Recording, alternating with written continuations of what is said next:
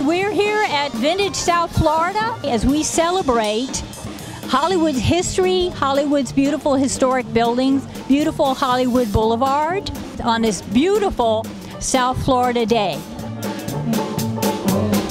And Hollywood is very unique.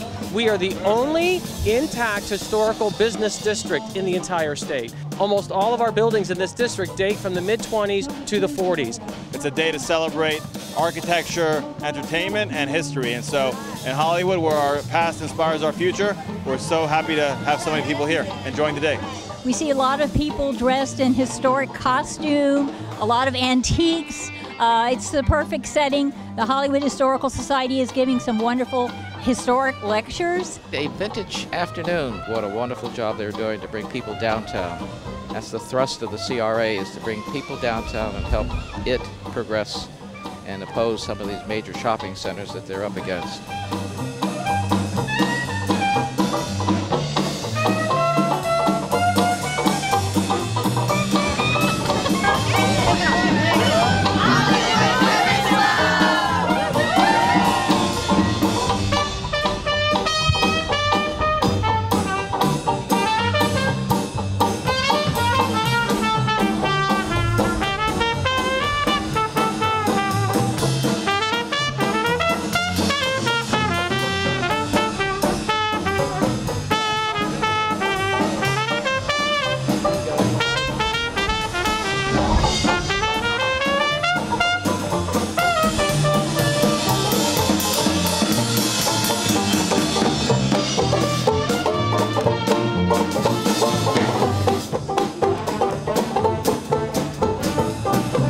It's a really unique and fun event. So we welcome everybody to come out and visit us. We are doing vintage South Florida. Vintage South Florida. We have a Holly Weird is represented right here.